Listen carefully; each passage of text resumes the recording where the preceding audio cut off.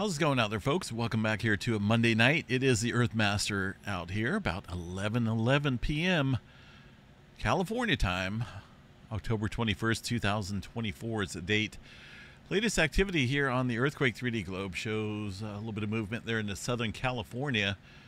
As you can see here on the USGS map, got a little swarm of activity stirring up here in the hazard zone. I call this the hazard zone because this is just opposite here of the uh, well off the plate boundary here where you would expect a lot of the strain to build up from the interaction of the two plates here. And uh, this swarm is uh, coming up on about 16 earthquakes near thermal california. Very shallow crustal quakes going on here. It's not a good sign there in terms of uh, uh around the plate boundary. Let's see what we got for the largest magnitude here. Looks like it's going to be uh, a 1.6. Now, nothing above 2.5, but the, the sequence of events here uh, is picking up. And again, it's just off the San Andreas Fault here, the southern segment. Not 100% certain which fault system it is associated with out here, but it is in the zone where I don't like to see activity uh, because that's generally a good indicator here of some pressure transfer just off the plate boundary to this area. So kind of watching that region here. Again, it looks like this stirred up um, oh within the last hour, hour and a half. Uh, a couple earthquakes there this morning in that same location, but things really started to pick up here in the last couple hours. So we'll continue to watch that there in Southern California. Uh, a couple more earthquakes out there near the Ocotillo area, down south here around the border, and a little bit of movement up along the San Jacinto Fault Zone, uh, which stretches up there into the San Andreas Fault. Aside from that, uh, just general microquake activity in a broad scale event. Look at this. Uh, normally, you can follow a trail of earthquakes here on uh, any fault system, but this is a broad range of earthquakes all across the fault systems there. So we got a little bit of activity stirring up there in Southern California tonight. Continue to watch that. Uh, across the area of the creeping segment of the San Andreas Fault and the Bay Area, a little bit more active here today uh, compared to the previous days up here around the Bay Area. Nothing big, just uh, a couple earthquakes there outside of the San Francisco Zoo. All right. Uh, San Andreas Fault there, somewhat active. A couple earthquakes there on the Hayward Fault and also the Calaveras Fault. Number of these fault systems here are well overdue uh, for some big time earthquake activity there in the Bay Area. And uh, getting a little bit of movement on all of them. Northern California, uh, north of the Bay, 31 earthquakes out here around the Clear Lake volcanic field. Now these are hydrothermal plants out here that utilize the the heated energy, ener, heated areas below to produce energy. Now if you zoom in on any uh, satellite view here, you'll see there's a number of these facilities out there that, uh, well, they inject raw sewage down into the area below. It's kind of a green idea if you if you think about it, uh, to create energy from some type of dry steam here, and it powers a, a, good amount of homes there around the Bay Area. So that's what those are. There's a number of earthquakes out there, and some of these earthquakes can get rather large, uh, which is not a good thing for the folks that are operating the facilities because then you can come into lawsuits and whatnot uh, when you come into damages around the uh, around the area. But for the most part, uh, you know, it's outside the Cobb Mountain area, confined to the hydrothermal plants out there in the area. Uh, Lake Almanor, a couple earthquakes there this morning. Nothing uh, new to report here, just a 2.5 and a couple other earthquakes there throughout the day. Uh, let's see what we got outside of Vegas here. Really nothing major going on. Again, just keep an eye on Southern California. Any any type of swarming there, just off the plate boundary. You know, we're talking about, eh, what do we got? Five miles here, just due to the right here It would be to the east of the plate boundary itself. And let's see what we got for earthquake activity out there in the last 30 days. Not a whole lot specifically in this area. It looks like there was a little separate swarm here further to the east uh, within the last month or so, but uh, we'll, we'll, continue to watch it. Any any type of swarming is very important uh, to pay attention to. Uh, nothing major going on to the Pacific Northwest. Let's go ahead and check out the tremor map here tonight. Forest Cascadia Tremor. See if there's anything significant going on, and there's actually nothing Zero epicenters here. Interesting. All right. Uh, Yellowstone National Park, a couple earthquakes out there. Looks like a 1.4. Let me uh, just verify that real quick and see what we have across the area of Yellowstone. Really nothing major going on. There's some wind events out there. I can't. I don't even know if I can spot the 1.4 out there anywhere. So pretty quiet out there in respect to the earthquake activity across that super volcano. Up into Montana, a couple smaller quakes around Craig, Montana. There, no depth for the earthquake. A little odd, but uh, well, it says zero, zero uh, miles below the surface there. Rest of the country, look at that. Pretty quiet out there tonight in the last 24 hours. As far as any world uptick goes out here, well, we got a pretty good swarm of act. How'd that happen? Zoom in, and it goes to the uh, South Africa area. We've got a pretty good swarm of activity out here around the Banda Sea, the Molucca Sea. This is a mixed bag of plate dynamics out here. You can see the warping and twisting and pulling of the land here uh, throughout uh, time, obviously. And this is a major zone that sees, uh, well, a lot of earthquake activity here on any given day. This region is a combination of a number of different plates that are subducting and uh, sliding past each other, and there's just it's a crunch zone. I call it the crunch zone because there's so much earthquake activity that occurs out there. And we got a pretty good swarm of movement uh, stirring up out there this e- this evening and also throughout the last 24 hours, with uh, a number of earthquakes there in that region. Looks like there's a newer earthquake, a five uh, is that a 5.1 out there? South of the area of interest, it's going to be this earthquake right here around the Indonesia Islands area. Uh, but overall, seismic activity definitely on the increase out there around that region. Also, some super deep movement here underneath the. Uh, that's going to be the Sea of. Uh, where is that? USGS not reporting that earthquake, but there's a super deep earthquake here uh, in between Japan and. So it's going to be right about here within this area in the Japan Basin, uh, the uh, Yamato Rise area, this whole area. Um, seeing a little bit of deeper activity there. Look at that super deep earthquake. It's a 4.6 down there, about 470 miles underneath this area. Nothing coming in from the USGS here, and that's pretty important to pay attention and be informed on these deeper quakes because they lead to surface adjustment upstream here.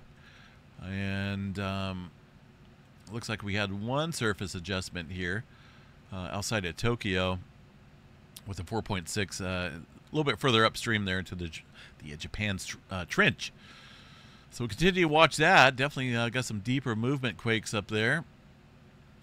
Alaska, see what up, see what's up here. Not a whole lot. I mean, we got a bunch of small microquakes. Really nothing of any major movement out here today no major intense areas to watch. Just general microquake movement across that subduction zone.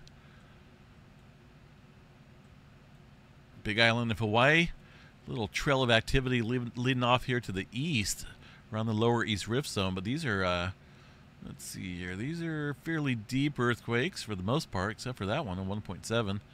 Really nothing of major concern out here for now. Um, let's go ahead and check out the latest information here from the Kilauea Volcano website. See if we got anything uh, new to chat about. Last time I checked, a lot of these uh, stations here were offline. There's the seismograph stations there. Not a whole lot going on in terms of seismic activity.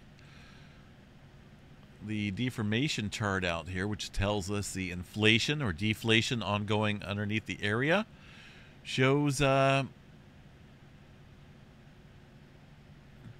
Well, the last two days here, a little bit of adjustment. I'm not for sure what that doesn't look natural though. That almost looks like it's a uh, some type of manual adjustment going on. But these are very small uh, amplitude amounts there. This station here, this I don't know what's going on with this.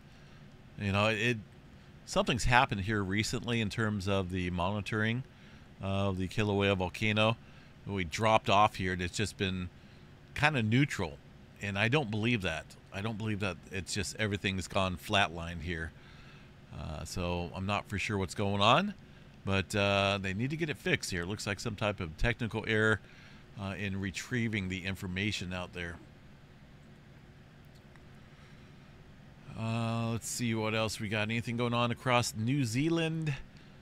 Look at those deep earthquakes there into the Tonga Trench. A pair of them, it looks like. Uh, minimal adjustment here. Threes across the board, up and down the plate boundary. Uh, the Mediterranean area looks like a newer quake there. 2.3 coming in. Or, uh, that's a 3.3. Out around the area of uh, Crete, it looks like. Out here across this region. Aside from that, really nothing major going on across the Atlantic Ocean, and Middle America Trench, and South America area, seeing their typical movement. I got a little earthquake activity around Puerto Rico here on the map. Let's see what we got here real quick. Pretty close to the Puerto Rico Trench, 3.4. Uh, just a couple hours ago. But aside from that, uh, look at that 3.4 they're reporting there in Ecuador. It's a little odd to, to produce to report a three pointer out there internationally. I wish they would just uh, report them all. If you're going to report one, report all of them. At least give us, the users, the option to add smaller quakes here onto the USGS map. That would be really cool and beneficial, I think, to integrate the option of having international earthquakes shown up here on the USGS site, aside from 4.0 and above. But occasionally, we'll get a three pointer. I've even seen them report a two pointer out here across the international community. It's, I don't know why, but I don't know how they make it up there. Somebody allows it to go on there, but all right. Um, yeah, look at that. That's pretty crazy. We'll continue to watch out in Southern California. Flatlining out here across the uh, flare chart. Now it is somewhat elevated though, consistently up in the C flare category. We do have a uh, Oh, number of active regions coming around the eastern limb. Look at this right here. Goodness. We got uh, pretty significant spot there. Throwing off some flares, it looks like. Something uh, crazy looking there, to say the least. Now, we have sunspot number 3868, 3866. These are former sunspots that were out here a couple weeks back. Now, if I remember right, uh, it's either 3842 or 3844 that uh, produced the solar cycle's largest X flare. 3842. Let's see what we got here. 3842, that's right. That produced the X 9.0 here back on the 3rd of October this month. And uh, of course, that's the largest flare of the solar cycle. It's coming back around the bend now. And um, 3868. That's got to be one of the sunspots out there. Let me see here. 3868 is probably going to be right here. So we don't even have a specific view yet of 3842, which is another active region further out behind the sunspot area. So we're going to be getting, uh, I think we're going to be getting some further stronger flares here uh, coming up later this week and into the weekend as these uh, sunspots. Look at those magnetic arches they're stretching. No telling how far uh, across this area. And this here is very dynamic looking. I think we're going to see uh, some stronger flares coming up here in these uh, sunspots here in the days ahead. Right now, very minimal chance, but I guarantee you that's going to be bumped up by tomorrow. 5% chance for X flare, M flare at 40. C flare around 99% chance or so. And looking at the sunspot complexity here of at least one of the newer regions coming around, you can see out here on the on this area, there's quite a bit of complexity here with these different colors, close proximity. Um, that could spell some trouble for some stronger flares. Also, this region over here showing a little bit of growth but not really too concerned about that. That's going to be blasting off here to the uh, western limb here in the days ahead. Actually, probably in the day ahead. And uh, we'll watch this area coming around the bend here. That looks uh, fairly active. No major flare threats for now. Aurora conditions somewhat elevated, somewhat out of the blue. Looks like uh, unsettled conditions out there across Canada, Alaska, uh, Greenland and Iceland area, seeing a little bit of aurora potential. But aside from that, there's really nothing major going on yet. But we'll continue to watch that. Look at that. Just how active they are remains to be seen. But I uh, just looking at these uh, arches out there, that's uh, quite dynamic. So I think it's going to be pretty active. This little quiet spell is probably going to come to an end here real soon. All right. Uh, anything major going on here for the severe weather department? Really nothing of any major interest here. We got uh, a couple different storm systems knocking on Northern California's door, bringing maybe even some rain into Southern California here as we head towards the end of the month. That's going to bring some cooler weather and, uh, well, we got to watch this here as we head towards uh, the first week of November. Models have been picking up on some type of tropical system out here around the Florida area uh, towards the first week of November. Now, this is a ways out, so don't get too excited about it. We're too worried about it because it is a ways out, but we got to watch. Um, it all has a lot to do with where this high pressure system is. If it's further up north, that will allow this tropical system to further venture into the Florida area. If the high pressure is south, that will keep it squashed and maybe not even hit the Florida area, uh, and that will stir it off to the Atlantic. But just gotta wow, look at that. Gotta watch this, right? I know it's a ways out. A lot of a lot of forecasters don't like to even look at the GFS model this far out, but I'm telling you, when these models get into agreement over a period of time, that's the time to pay attention. So we'll continue to check back on it and uh, see how it plays out. But uh, West Coast looks like we got some more rain coming in towards November, so it's it's our rainy season, so we better start getting some rain out here. I would hate to have a dry winter out there. We don't need it. I do not want to slip back into the drought. No. That would be uh, almost a worst case scenario right there. I'm a, I'm a big weather fan, so we need to bring on the uh, bring on the storms, bring on the uh, the winter time. Drought monitoring out here. See what we got right now. California, see, we're starting to creep back in a little bit out here. Uh, very minor drought conditions out there, even down in Southern California. Uh, most of the drought conditions look like they're around the, the Great Lakes area. Goodness. Oklahoma, Arkansas, Missouri, even portions of eastern Texas there as well dealing with some uh, severe drought conditions. Looks like extreme drought conditions there in the darker red. So, uh, yeah, hopefully those folks there get uh, some rain out there soon. All right, I'm out of here, folks. Have yourself a wonderful evening. Keep your eyes here on Southern California. Got uh, one more earthquake here since I've been chatting.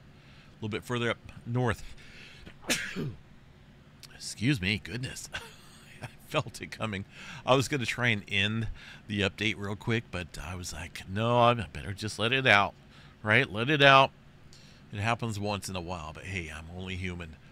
A little 1.7 up here north of our swarming area, and that is, again, in the hazard zone. So we got the strain out here against the southern branch of the San Andreas Fault. We just got to watch it, folks.